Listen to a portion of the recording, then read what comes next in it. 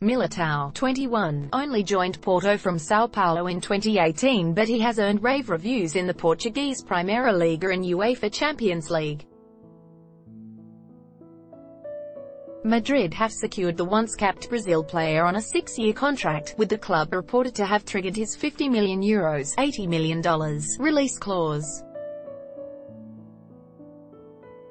Predominantly a centre-back, Militao is similarly adept at right-back and has even been known to fill midfield gaps if required.